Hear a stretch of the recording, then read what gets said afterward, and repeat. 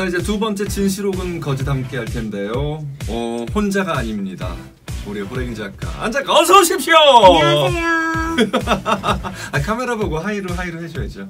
저 카메라네. 안녕하세요. 네. 두 번째 진실옥은 거짓 출발합니다.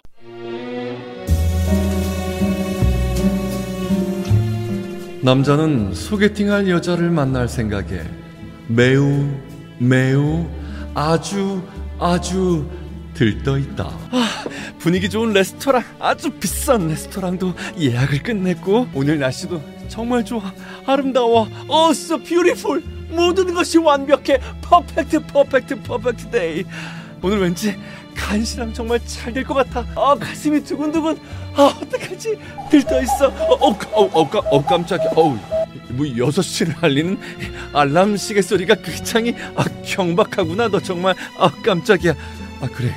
이제 가인 씨가 슬슬 올 때가 되는데 언제 오시? 어, 어머, 안녕하세요. 동혁 씨 맞으시죠? 네네네. 저 홍 가인이라. 아, 아, 네네. 아, 가, 가- 가인 씨. 아, 어, 어, 어서 오세요. 어서 오세요.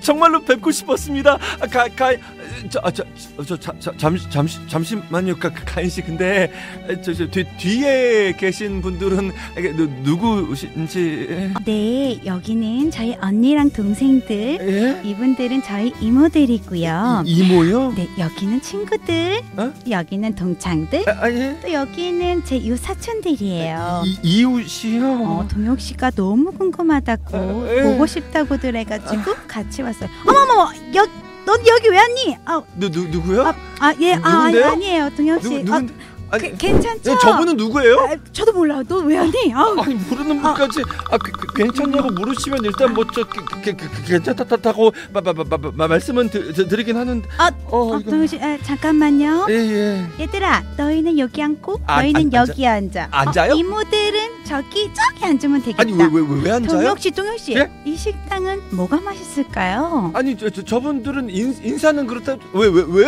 어이 어우 어우 여기 막 30명 앉아 있어. 어우 아, 이게 뭐 아, 아, 일단 뭐뭐 뭐 뭐, 가 맛있냐고 하시니까 일단 뭐 다 다 맛있어요. 여기 그 코스 요리도 좋고 뭐 아무나 다 괜찮긴 한데 뭐야 진짜 소개팅 자리에 아는 사람을 다 데리고 오면 난 어쩌라는 거야 진짜 아, 망했네 망했어 진짜 어쩌냐 아 진짜 아. 두 번째 진실옥은 거짓. 소개팅하는 날 일가 친척 20여 명을 데리고 와서 공짜로 식사를 하려고 한 여자가 있다. 진실일까요? 거짓일까요? 정답은 진실입니다. 두둥. 중국 텅신왕 등 외신에 따르면 중국 저장성에 거주하는 남성 류 씨는 최근 한 여성과 소개팅을 하게 됐는데요.